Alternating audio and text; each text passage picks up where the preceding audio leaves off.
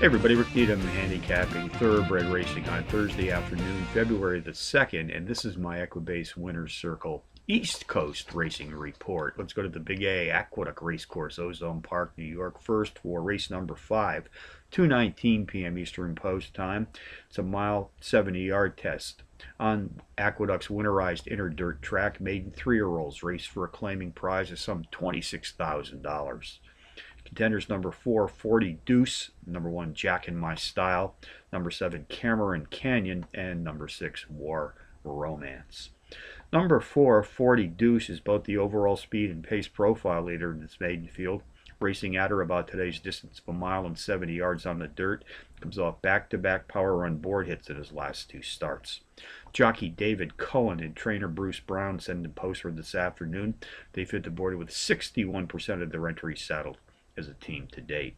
Number one, Jack and My Style takes a class drop, is out of the Tapit lineage, whose progeny have hit the board in 44% of nearly 3,200 combined lifetime starts to date.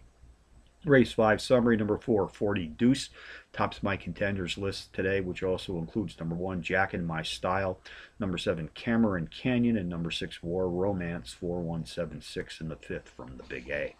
Go to Gulfstream Park in South Florida next for race 2 105 p.m. Eastern Post Time. This is a 6 furlong sprint on the dirt track. 3-year-olds race for an optional claiming prize of 26000 $500. Contenders number two, My People. Number five, Dark Bay. The paired entry of number 1A, Did Experience, and the stablemate number one, Know Your Boundaries on my list, along with number seven, Gal.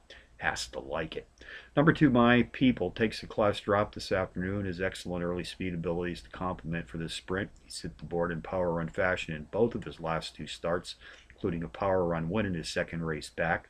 Recent past performance sheets show another circle trip result in his fourth race back, which is indicative of a bounce pattern, folks. The bounce will be up positive this afternoon if this pattern continues. Number five, Dark Bay, has hit the board in both of his two career starts to date, including a power run win. The break is made in his last start.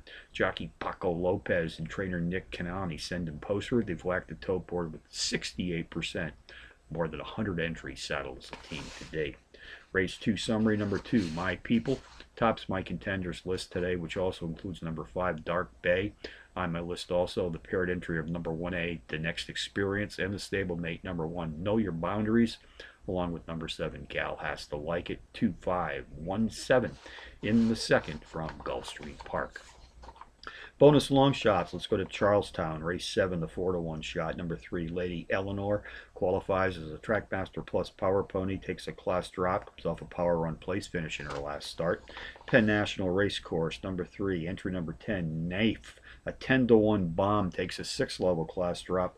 Nice overall speed for this mile test tonight on Penn National's dirt track.